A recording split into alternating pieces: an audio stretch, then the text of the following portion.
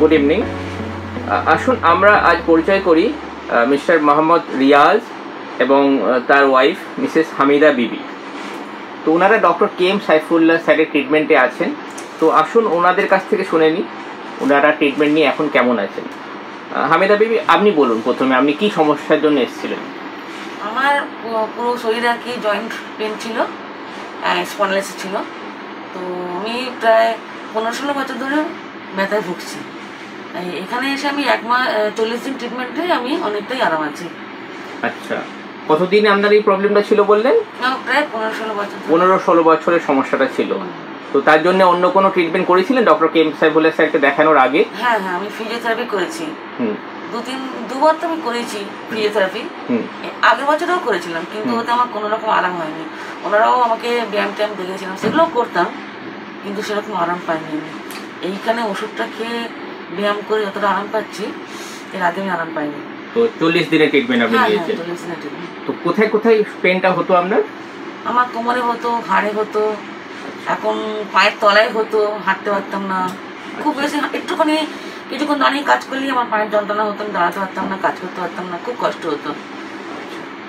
আচ্ছা মিসেস হামিদা বিবি তো আপনি বললেন পুরো ব্যাপারটা। হ্যাঁ। মিস্টার মোহাম্মদ রিয়াজ বাবু আপনি যদি আমাদেরকে একটু বলেন আপনি কি সমস্যার জন্য এসেছিলেন এবং এখন কেমন আছেন?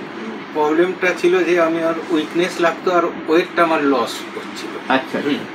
সেটা আম- আমাকে যে দেখতো বলতাই তোমাকে তো চেনে যাচ্ছে না রোগা হয়ে যাচ্ছ হয়ে যাচ্ছ।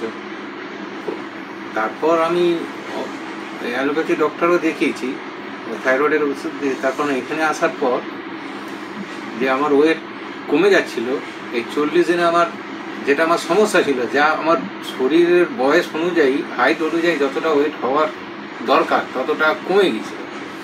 এই আমার চল্লিশ দিনের ট্রিটমেন্টে তিন আজ ওজন করলাম যে তিন কেজি বেড়েছে। আর উইকনেসটা ছিল সেটা অনেকটা ইয়ে হয়েছে।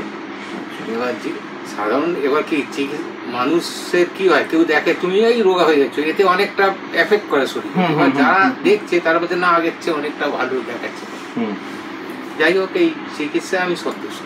আচ্ছা। তো আপনার যে উইকনেস লাগতো তার জন্য কি কি কষ্টটা কি কি হতো?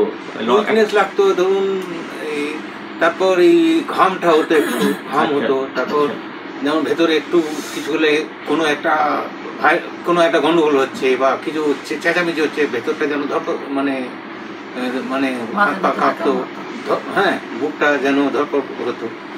সেই দিক থেকে অনেকটা রিলিফ আছি। ঠিক আছে।